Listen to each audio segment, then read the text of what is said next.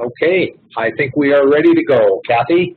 Thanks, Roy, and, and Susan, thanks for inviting me back to do a little bit of follow-up. You're not the only one that has had questions, and um, so I'm happy to um, revisit this. Um, certainly, it's not going to be so much my answers as it's going to be answers from the Project Core website and take people to the Project Core website um, and some of the updates and information that they've added, including what they call the sandwiches that I talked to last time, which is some, some sort of teaching scripts that, that go along with things. All right, so where's my, all right, so hello, bonjour, yeah, we can do that. Um, so welcome. For those of you who may not have done this before, um, welcome to this uh, webinar on the 3D tactile symbols. What I'd like you to, to make sure that you do do is go back and take a look at the archived introductory session that uh, is on the ERLC website.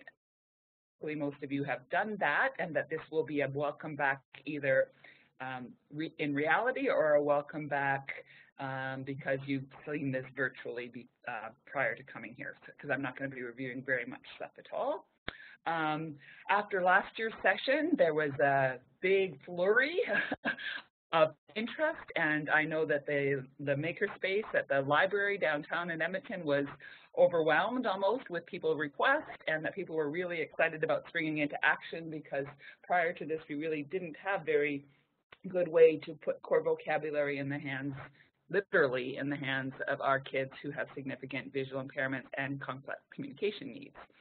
Um, I'm just going to pause here for a little minute and we're going to try and get a little bit of participation from our if you want to put it into the chat, that might be best, and I've got the chat up as well.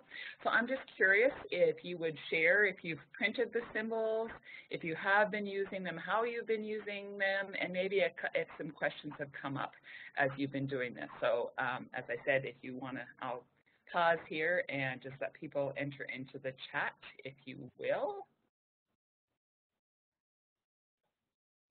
Oh, and if you're going to enter it into the chat, please send it to everyone, not just to Roy.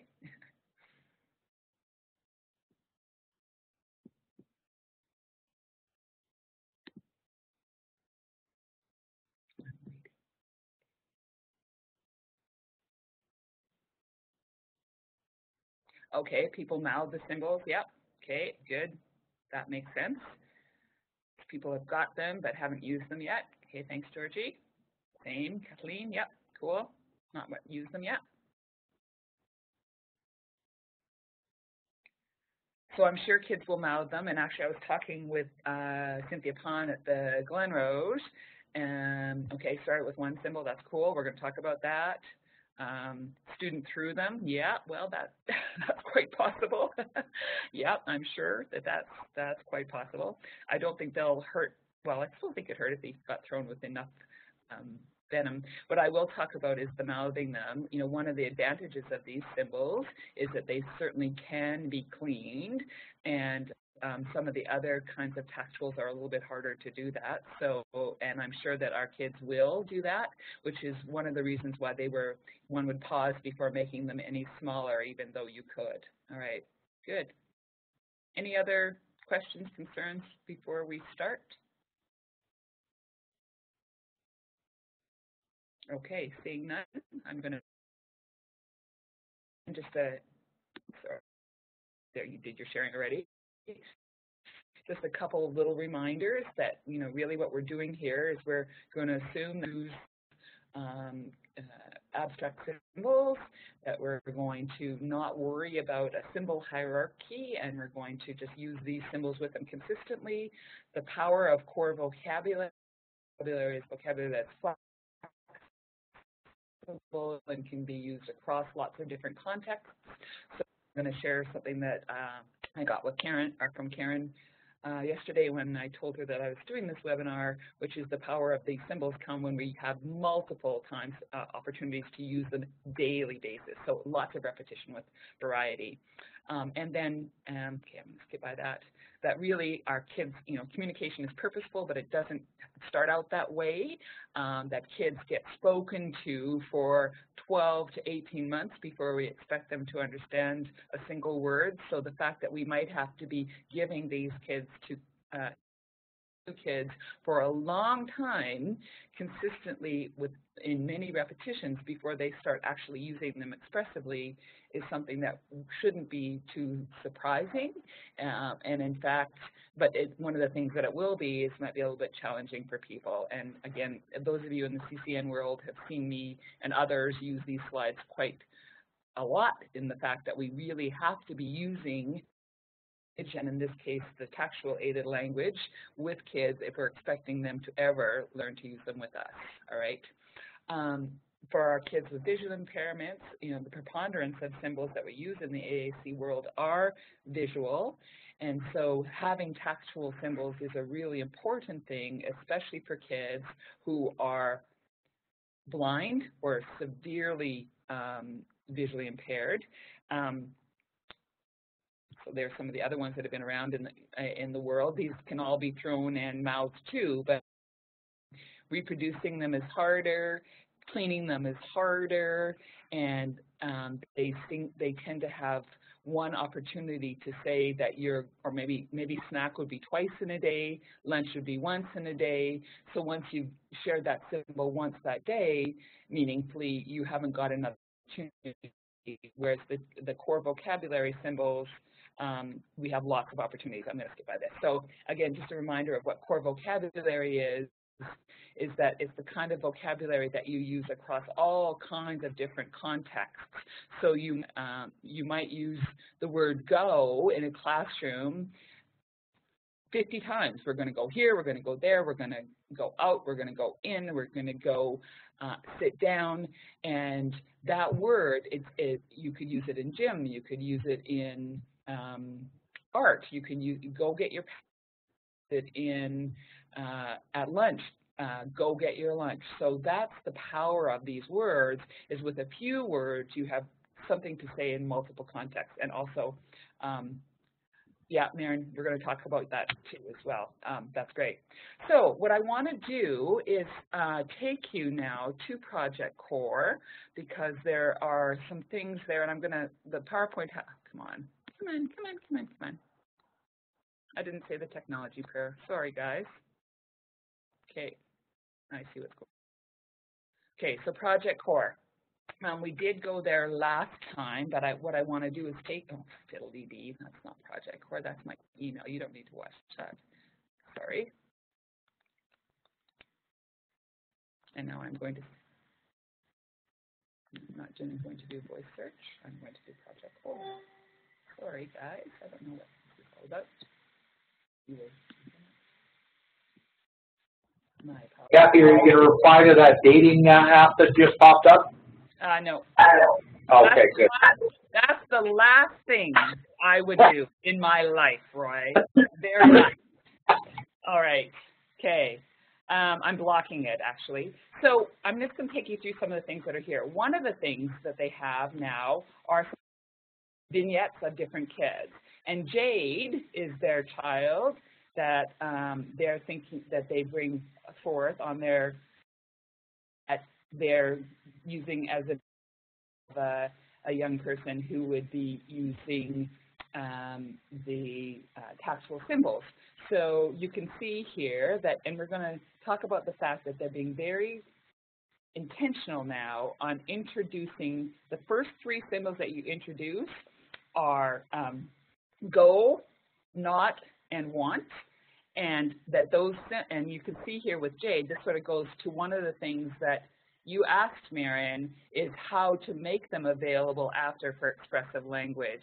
So what they've done here, which I think is quite neat, um, they've made them available so that she can feel in front of her, and I'm assuming that they're going to put them in a relatively same location all um, so that she can do that. But uh, that's one of the things in the uh, a follow-up uh, information that they got that they've given to me here is that that's one of the things that they're really saying is that you need to think about having a plan to organize the symbols and how the symbols are going to be organized not only for receptive language um, support, which is teaching them uh, the meaning of the symbols, but then ultimately how they're going to be organized and available if we're expecting the child to use them expressively.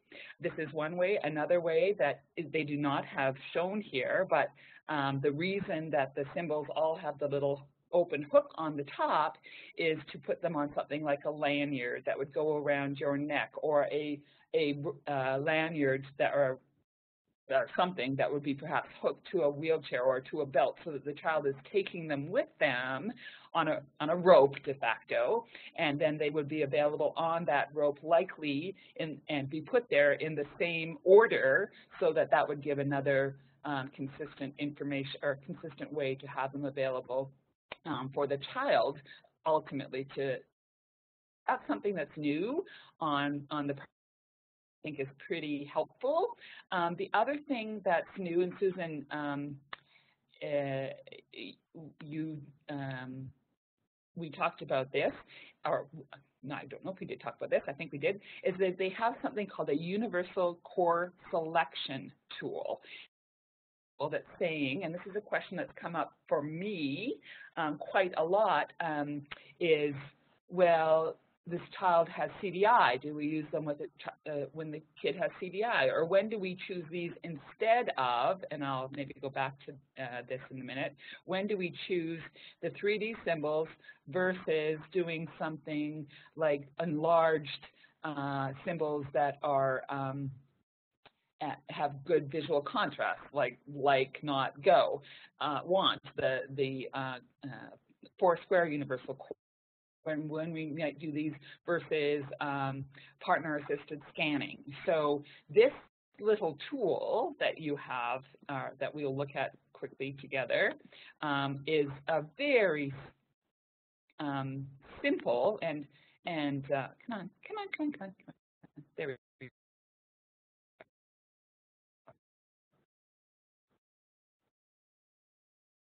Sort of screener, I would suggest, more than anything else um, that that might help. So I'm going to move my chat so that I can. I'll come off it. Sorry, guys. There. Okay. I'm going to move my chat so I can see. So here's, and this is a bit of annoyance, but they're doing this so they can see who's in. And I'm going to have been in there quite a bit already. And I'm, I don't have a school system, and I don't know, consultant, I'll say. And the state, this, I'm sorry that you have to do this, but I thought I'll show you. You just go other, and then uh, email, I'll use my U of A email. You have to do this every time. It's annoying, but, and we're not from there, so I'm from Canada, so they're getting, they're getting, um, they're getting information for their research project. So does the student have any useful vision? And so um, what would you like me to say, yes or no? Susan? Hello? There we go. We're having a hard time unmuting. The answer is no. Okay. The answer would say no. And I will go forward. No useful vision. And guess what? These are the kids that you're going to um, consider the 3D tactile symbols or the four-in-line universal using partner-assisted scanning with auditory presentation of the options. So there are two possibilities here.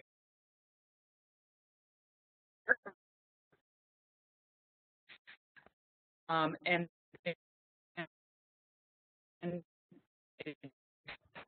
Kathy. How to Kathy, I've just unmuted.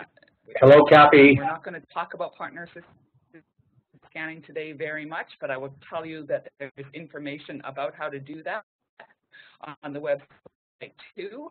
So if you're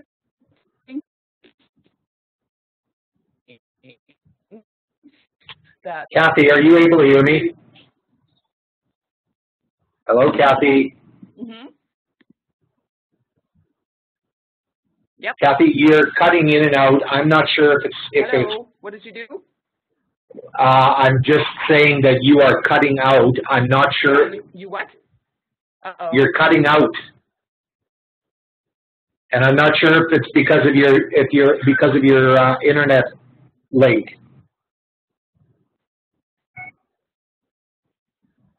I'm speaking.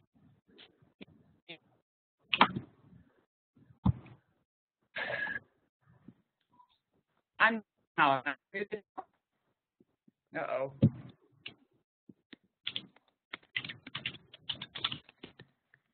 Mm. Uh-oh. Uh-oh. Uh-oh. Shoot.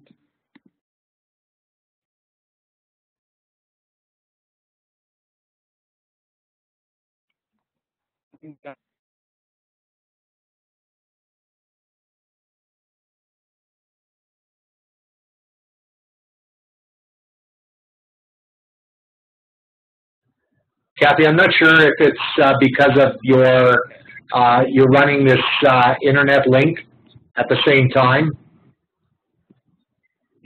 Yeah, that's probably is, Troy. Um, You probably don't have enough of a, uh, enough bandwidth in, a in, minute. Can you hear me now? Yeah. Yes? Ben, No, you can hear me now? I think you've got to ditch, yes, I think you need to ditch this, uh, this other,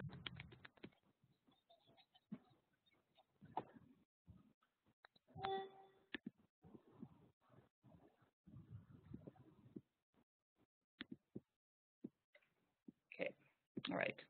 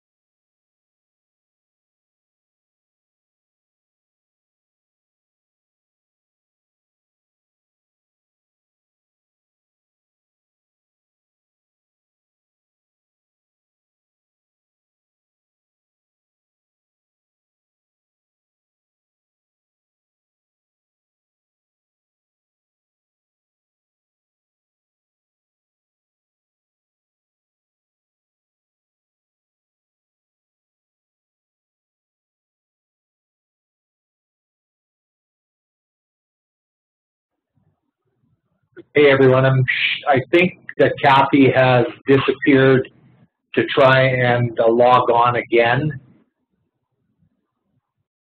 Uh, so we'll just wait. isn't unmuted now.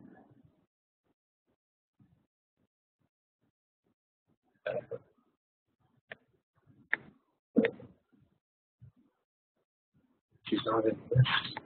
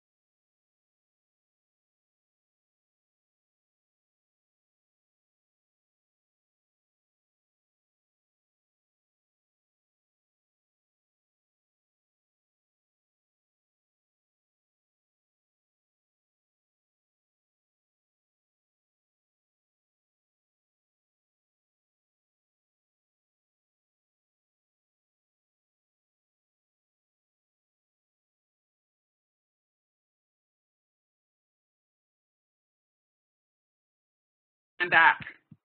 Can you hear me?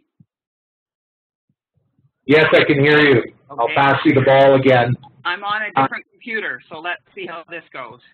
Okay, all right, sorry guys, my apologies. I will not open the website. I will talk about what's on the website, which I can do perfectly fine. So, all right.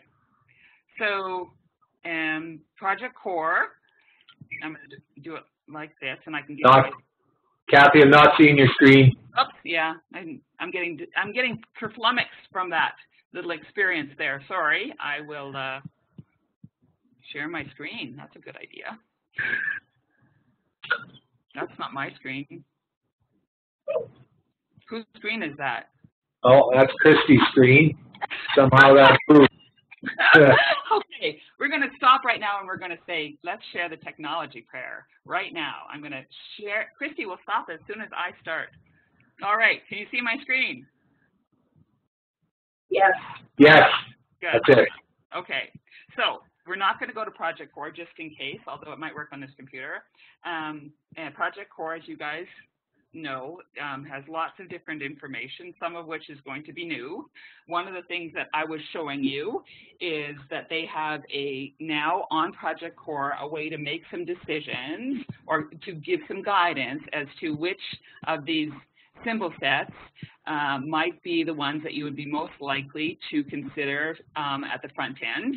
There are a variety of symbol sets beyond which the 3D symbols that are here. Um, the, the, our little assessment that we just did suggested the 3D symbols or the inline universal core partner assisted communication book. And the other thing that they have now on the Project Core site is both information on how you would introduce and use the 3D symbols, as well as some nice information on how you would use a partner-assisted communication book. So that would be likely for kids that um, could certainly could not see, who have good audit, can hear well, and for whom the symbols just they, they couldn't hold them in their hands, or there's just no way that it's going to work for them. So um, partner-assisted auditory scanning is something that's used in a variety of different AAC systems. So, but today we're here to talk about the 3D tactuals.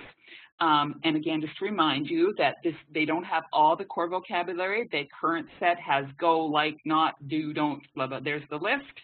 Um, and this is just a little uh, descriptor of them. I think most people are familiar.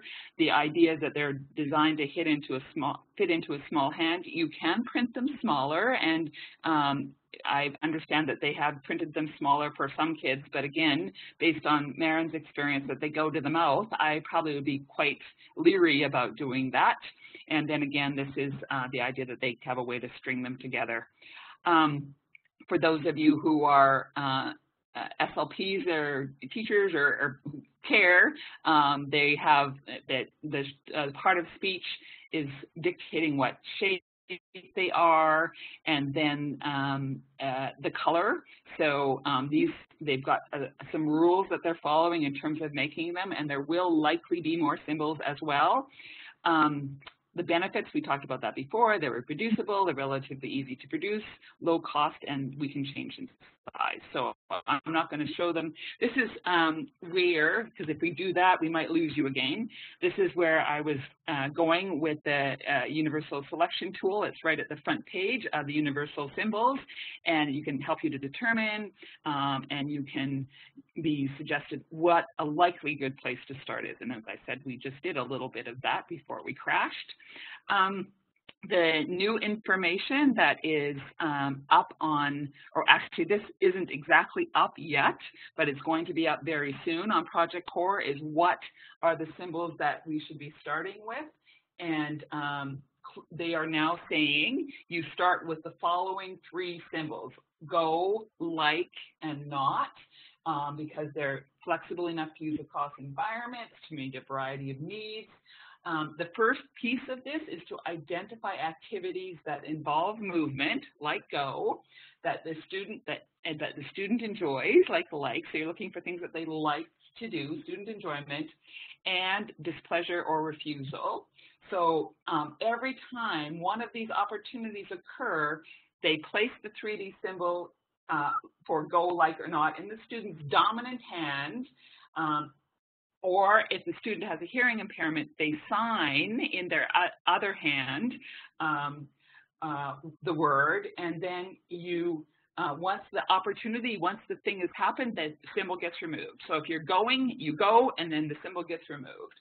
Um, so examples that they, um, each time the student's going to move, use the opportunity to teach go. So movement would be moving around the school, moving from one position to another. Um, it's or moving from one place. It's time to go to group or something. Um, and then they look for signs with the like. You look for signs of pleasure. So um, student smiles in response to a song. We think you like that. You're smiling. We think you like that. And you put the, the, the um, symbol in the dominant hand, if you know what the dominant hand is. Um, you know, uh, laughing like, um, smiling or a pleasant facial expression. So really a lot of this involves understanding clearly the, the children's current communicative behaviors that tell you whether they like something or they don't like something. And then go is more about environment and looking for opportunities to do a movement. And then you introduce uh, the symbols in those contexts and you do it over and over again.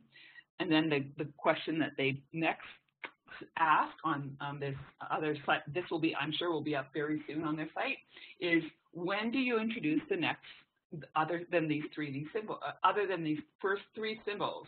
And they say um, that they don't begin to introduce additional symbols until the student is beginning to reach for or otherwise indicate some beginning understanding that these three initial symbols have meaning that they have meaning. That doesn't mean that they want them to use or identify them independently, but we want them to show some emerging understanding before we start to introduce more. So, okay, so you're sticking with these until you have some sense, and it's going to be I would say clinical sense that, oh, they, they're understanding that these things mean something. It doesn't mean that they understand the word go and that the symbol means go, that they're not, it's not clear um, you're not looking for, Karen's always big on not looking for mastery, you're looking for an indication that they're understanding those symbols. Um, and then when you're ready to add new symbols, you really have to have that plan for organizing them, whether it's, um, where is that, whether it's on a, I, as I said, I really like this. If the child's in a wheelchair, this is dead easy. Um, or maybe even if the child isn't in a wheelchair, if there's a consistent place that the symbols get placed. This is, there'd be Velcro on the back of those ones. Um, however it is, you have to think about how they're going to be doing that. The other really important key message on this, this handout that they've created is that symbols that are not used dozens of times a day can't be learned. So you really need to look for opportunities to use these three symbols dozens of times a day for each one of them, which is again why these ones are so powerful. On the site right now, they do have an example teaching script. I'm not going to go there, but if you, uh, these are the sandwiches that I talked about last time. Um, so um, I encourage you, maybe after the webinar or tomorrow or whenever, or even right now while you're listening to me, go to Project Core, take a look at these scripts, and they get really specific um, instructions. Now, Susan and I were talking earlier, they say to sign in the hand, the other hand. Well, that's if the child can't hear or if the child has some kind of understanding of uh, sign in hands, great, do that. If they don't have that understanding, try and give them something that's going to indicate, um, and really it's more about you looking at them and interpreting, just like we do kids, that you're interpreting that the baby smiled, oh, you like this, or the baby is frowny face, you don't like this. And for those of you who have used the communication matrix to gather information about how the student is currently communicating, you would be looking for those kinds of um, uh, behavior, um, pleasure and uh, be behaviors that indicate pleasure and behaviors that indicate negation or unpleasure. And I kind of, I think you get that. Um, so they have some of these new resources um, that are there. As I said, I got the slide out of order. So, and the new resources are, they're going to have this resource up very shortly, and then they've got these um, sandwiches or scripts or teaching scripts that they suggest. Now, part of that is suggestion. Use your own, you know, I think the most important thing here is that you want to start with the three, involve activities that involve movement, student enjoyment, or student refusal, and do it over and over and over and over again. Okay. Um, the other thing that Lori said, Lori Geist, who is also um, really she's the lead, I think, right now on the Project Core research, is that other questions that they've been getting is about the tactual sim, uh, the tactual printers themselves. What kind of printers should we have?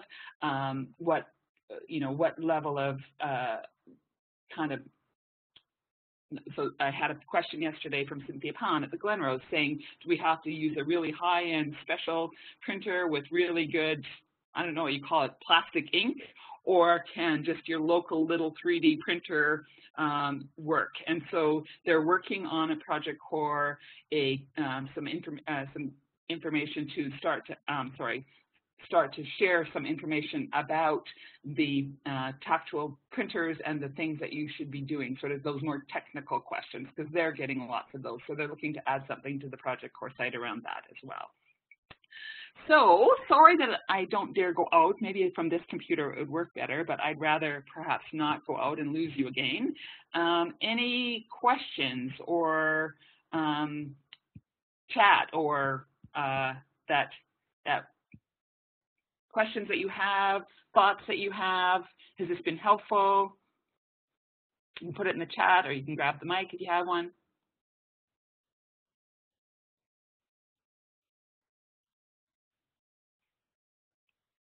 I'm hearing silence.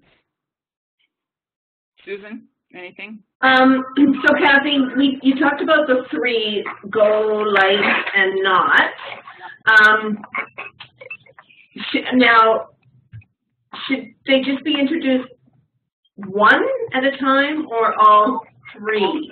All three at a time because okay. also teaching a little bit of this, you know, that there's different, um, yeah, oh, and you, know, three at a time so that the kids can learn that there's different meanings attached to them um, and so that you can, so you can start to actually um, noticing that they're different. So yeah, the three, teach doing three at a time. And Darlene, no, um, it's not, modeling the universal core is not where this is. It is, let me go to the site. If you go to uh, the universal core, um, shoot, I'm get it out in front of me. Um, yeah, Chrome didn't shut down properly, no kidding. So you go to Project Core, um, I'm sorry, I'll, I'll walk you through it at least. Um, and you go to Universal Communication Systems. Um, then you've got, oh, sorry, then you go on the side to Implementation Resources. And the Implementation Resources is the place that you're going to find 3D symbol use. You're going to find some, some tips and tricks for teaching yes and no for the kids that who are going to be partner-assisted scanning. Uh, modeling Universal Core is sort of just generally for kids that are using Universal Core. So for the, what we talked about today, you're going to be looking for the 3D symbol use and click on that. Um, and then if you're, and we did touch a little bit on uh, partner-assisted scanning, but um, I don't think we want to talk about that very much. And again, as I said, there'll be more information coming uh, very soon um, around the stuff that I shared about the three and how to, a little bit more about how to do that. So, and Roy, I saw your message and, and Kathy, just another question then. Um, what about home use? Like, would you suggest those families that you know would follow through, or would you would you have a set for home of those three symbols too, and work with the parents on some consistency and how to introduce that at home? So weekends and yeah, and the, the more repetitions with variety that the kid is going to have over the course of the day, the more likely they're going to learn those symbols have meaning, and the more likely it is that they're going to ultimately gravitate to using them themselves. So, um, yeah, so Makerspace, I, I know that there's a 3D, I've worked, used the 3D printer at um, the U of A. I don't know if they if they will sell universe uh, time, and I think that lots of high schools these days. And Juliana, thank you. I think lots of high schools have 3D printers as well. So now this might be the time again where we might have to go back and and ask Lori for the same questions that other people did. So yeah. Juliana, what was their uh, answer? Yay! Awesome. Good answer. Good answer. and Kathy. Yep.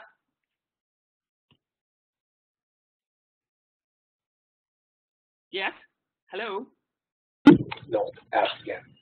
The, the throwing part, the, the concerns about kids throwing them, do you just like pick them back up and put them back in the hands? Just pick them back up and put them in their hands and give it to them again. And remember, this is a really short period of time, right? We're, we're wanting to get the, they don't have to have them there for the whole time of, well, I guess going, if you're going a long way, you might.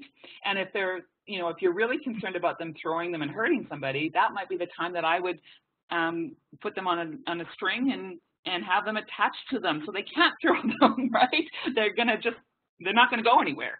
So I think we just have to be but clever. And if it's, you know, I suppose, and the other thing, if it's really becoming a problem, then maybe that isn't the right solution for them, and maybe we go to partner-assisted auditory scanning. But that's a big um, commitment from communication partners.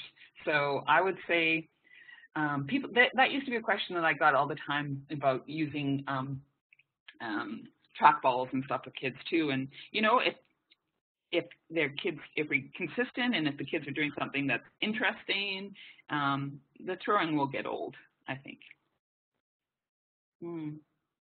Um, if you've already introduced the word more, I wouldn't go back, but uh, I um, I know and that's that's how I was doing it, Juliana, having the team um, say what words would be really important and um, or a lot, many times a day, uh, but don't use it just with food. You, you, the trick is you need to use repetition with variety. More this, more that, more the other, more and more toys, right? So I think that's really important. And so what I might do there is add in not because not more, and I might add in go because more and and like are kind of really close in meaning comparatively, I suppose, or more close in meaning than the other two that would be my suggestion, not and go, and more would be your first three because you've already introduced more. Does that make sense? Just one other quick question, Kathy. This, the three symbols could conceivably be a year in progress, right? Like this.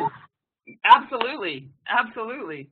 Yeah, yeah. You're not, you know, and probably not, but it could. I mean, that's a, that's my whole point again. Why I want to talk about the fact that uh, and it, you know, you can probably make the make it not so long if, in fact, you're doing more repetition with variety. Um, but yeah, we and and you know, I think we have a tendency for kids with, who are complicated to um, to do it till we're bored, not until they're bored. So yeah, I absolutely, Susan.